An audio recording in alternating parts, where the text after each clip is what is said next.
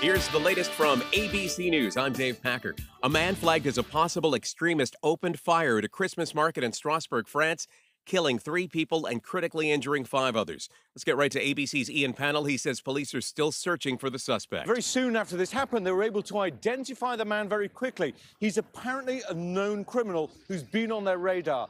And there is a major manhunt, a terror investigation tonight. We know they're searching in multiple locations beyond that initial market neighborhood. The Interior Minister says there'll be extra security at locations across France.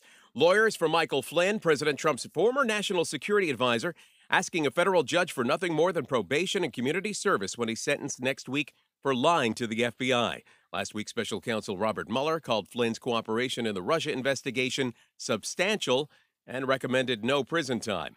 Michael Cohen, President Trump's former lawyer and fixer, will be sentenced in New York federal court tomorrow on tax evasion, bank fraud, and election law violations. That includes the illegal hush money payments to protect the Trump campaign. Cohen pleaded guilty.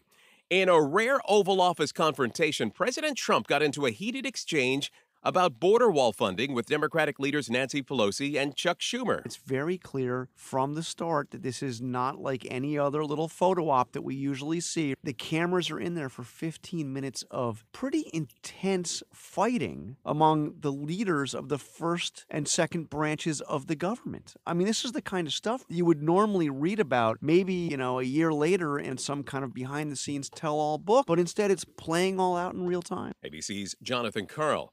Nancy Pelosi close to a deal with holdouts against her speakership bid. Sources telling ABC News that Pelosi is poised to agree to limit her speakership to four years and support term limits for the top three leadership caucus spots. I'm Dave Packer, ABC News.